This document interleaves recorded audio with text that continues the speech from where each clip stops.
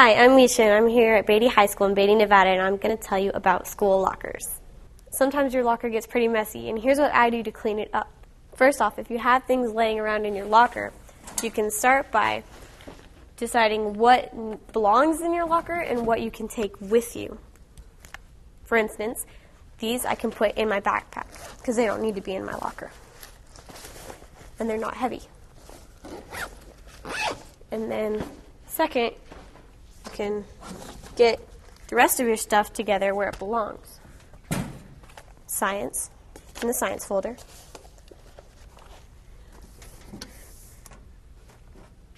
English needs to be here. Chemistry. And that's that part. And then you can bring it back up here and find pencils and pens. Are they where they should be? You can get them. I need these for class. My ruler. You can actually put your ruler in here because the locker is big enough. And then can leave my calculator in there and leave that in there. That's where it should be. I can put my pencils and stuff back in my backpack.